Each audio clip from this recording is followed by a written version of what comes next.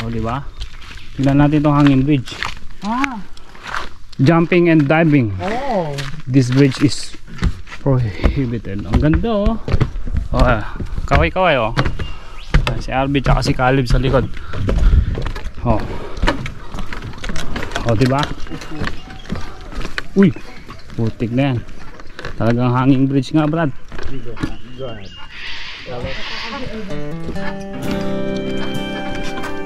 Di ma ano naman siya, matatag siya eh.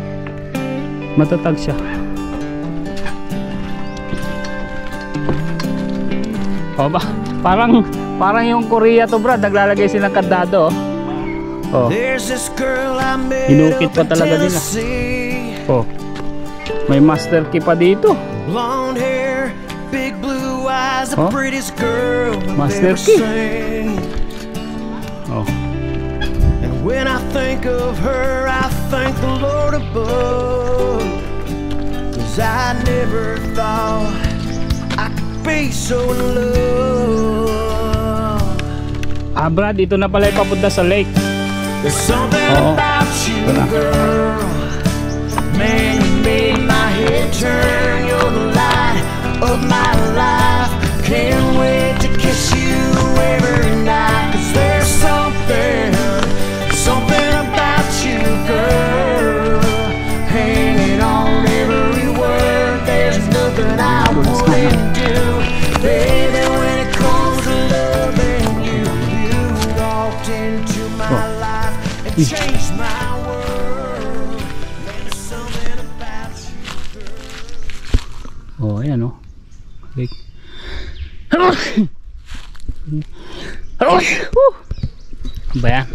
May naano kasi akong ano spider web na atching ako. Ito na pala yung pinaka creek. Dami mga butas. Ibig sabihin may mga crabs dyan. Marami isda dyan sigurado.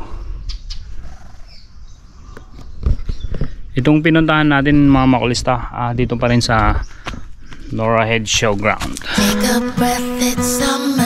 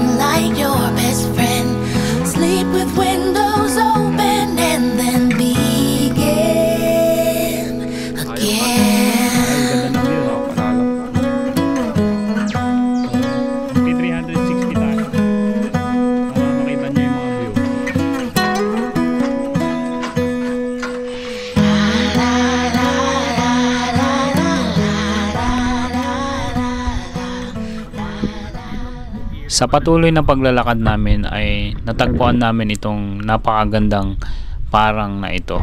Para bang pakiramdam ko ay nasa Pilipinas lang ako. Tatawa na lagi bigla si Arthur kasi laging Nakabaliktad. nakabalik. Okay, Oh, ba- nasa Sambales na tayo. Oo nga eh, mga palayan. Oh, oh. balik, balik! Oh, kalabaw. kalabaw, tsaka Ito ba baka. kami kangaroo dito? Oh, ayan, nag-enjoy itong mga bata. Oh. Never nilang na-experience ito sa ano eh. Sa Sydney. Oh, di ba? Parang, nasa probinsya.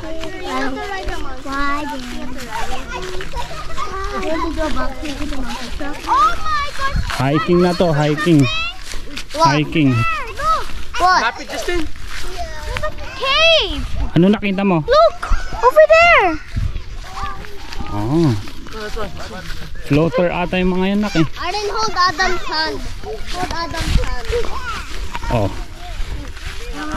What is it? Nothing. Saan tayo pupunta? Ha? Oh, balik na. Tama na yung ma-experience nyo na nasa probinsya. Kids! Balik na kayo! See ya. See ya! This is Monday. Let's go back na, let's go back. Yung challenge natin ngayon ay madaling bumaba. Ngayon naman ay pag-akyat. So, Matarik pero konti. oh. Dito ba tayo galing kanina? Hindi. Parang Parang iba ata ito. Oh. Magkapangalan pa eh, no? Parang iba ata ito, Brad ah. Ano ko ala? Ha? Sino ba nauna? Harvey. At least meron tayong masisisi. Baka iba ang lalabasan natin dito. Parang mas mataas yata ito tol ah. Baka sa ibang suburb. Ha? Oh. Para mas mataas to ah. Ayun nga natin ah. Mataas na, mataas. Mataas. Grabe naman to.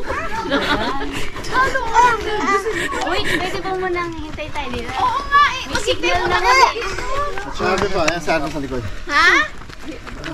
Pacing mo lang Arvin. Ah. Pace, pacing ah, pacing. Oh. Ah, one by one girls, one by one, one by one. Tol, Tol, anong may advice mo? Good exercise. may, dapat mag-iisip ko naman, maling desisyon na naman to. Lagi na lang. Naku po. Maghintay na lang muna ako. Baka mamaya dyan ibabalik ko rin sila. Wrong way, Eh, wrong tama, way. na, tama yan, ito yun. Wrong way to, Brad, wrong Eh, way. basta paakyat, tama yan. Maganda yung paakyat kaysa pababa. Parang hindi ta tayo dito galing kanina eh. Oh, hindi ko nga. Ayun, Maganda yung basketball. Oo. may kuweba, may kuweba doon oh. May cord dyan, oh. Possible tayo. Sagarin na natin.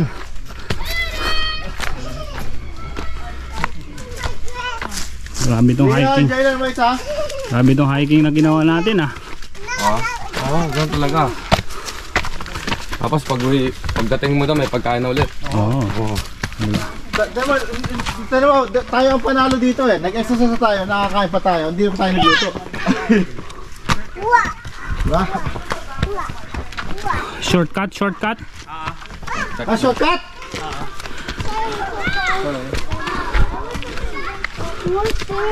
Tawagin mo na si na Aileen. Ha? Tawagin mo na si na Aileen. Nang!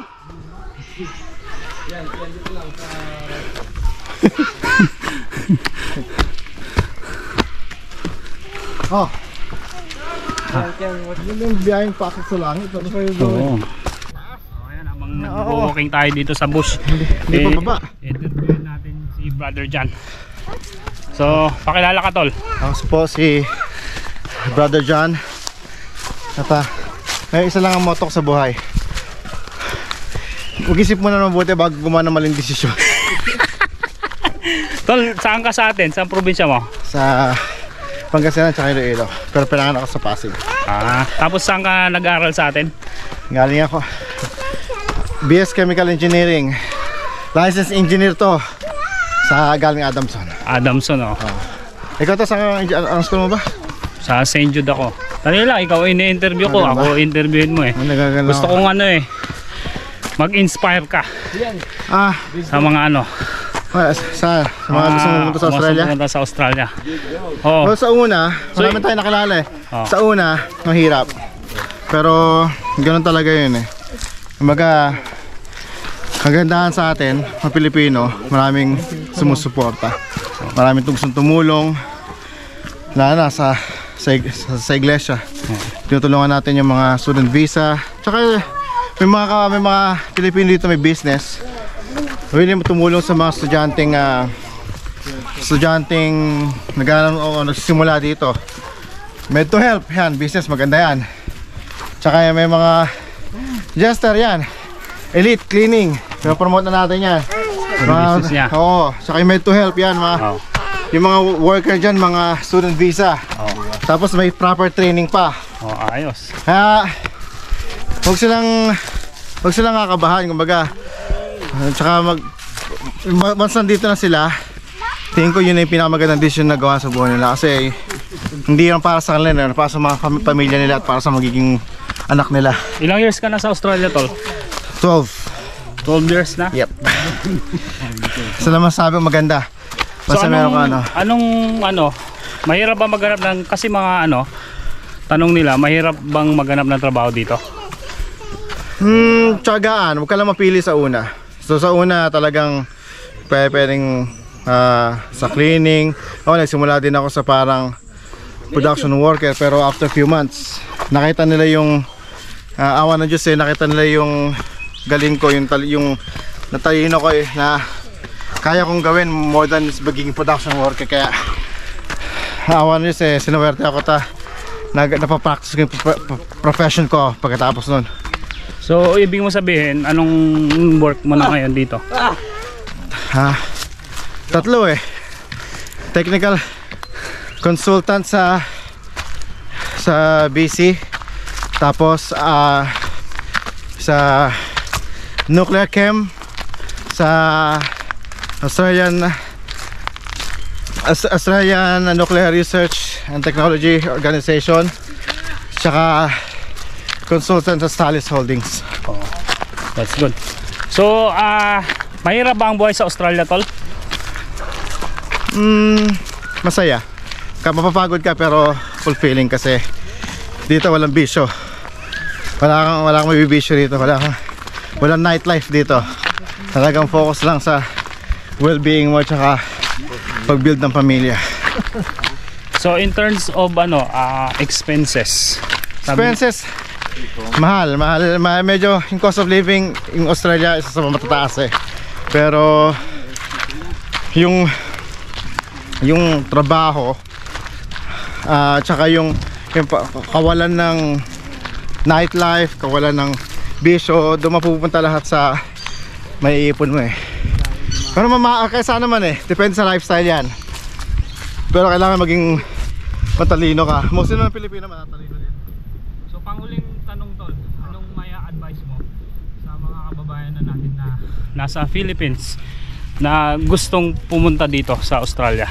O kahit saan sila, kahit saan sila gusto pumunta. Ito yung motto ko eh.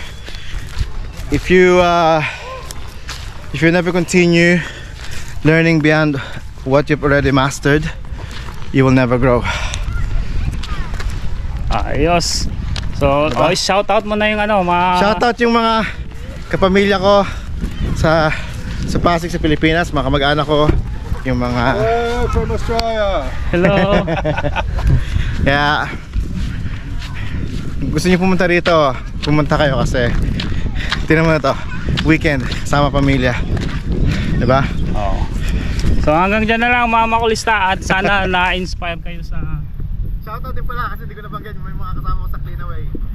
Chemist din ako doon. Oh, ayan, um, mga kababayan na natin na ano, Now the days are longer. Sit out on the porch, dear. Tea is sweet